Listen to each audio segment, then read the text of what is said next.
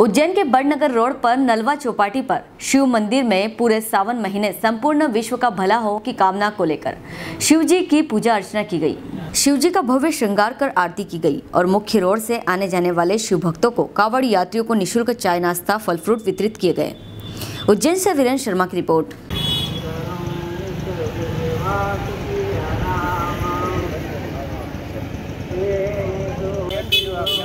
पड़ाव स्थल है यहाँ पे। और चौरासी महादेव में आता है ये। और यहाँ कई समय से रामायण चल रही है। यात्रियों के लिए फरियाल वगैरह चाय चौबीस घंटे रामायण है। फरियाल चाय वगैरह सब व्यवस्था करते हैं यहाँ पे। और अपने वन महाकाल वन में आता है। अच्छा रामायण जी भी अखंड इस- रामायण एक महीने भर तक चौबीस घंटे चलती है। अच्छा। सारे भक्त स्थानीय लोग यहाँ पर हैं? स्थानीय लोग सब सेवा करते हैं। गाँव के सबके बहुत बढ़िया है यहाँ पे अ, यात्री लोग की सेवा होती है चौरासी महादेव वाले भी सब यहाँ पे प्रयास वगैरह करते हैं। जो बड़नगर बदलाव तरफ़ से कावड़े आती है सब प्रयास वगैरह करते हैं